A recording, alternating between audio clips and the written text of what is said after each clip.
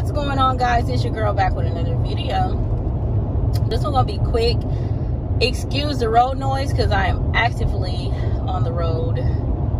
Um but anyway i was looking for um how to notify the other drivers on the Waze app um, that police or objects or whatnots is um, in the road. So the notifications basically.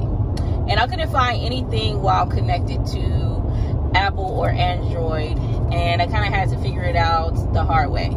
So when you're not connected to Apple or Android Play uh, on the car, you could do it on your phone. But when you are connected via USB in your vehicle, you just pull up the map, and I already got it pulled up there. And it's this orange button in the lower right hand corner here.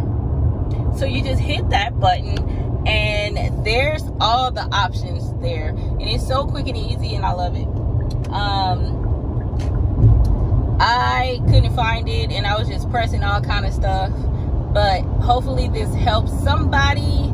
If you are new to Waze like myself, don't judge us, okay?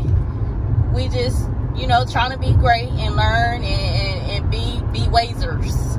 We new Wazers.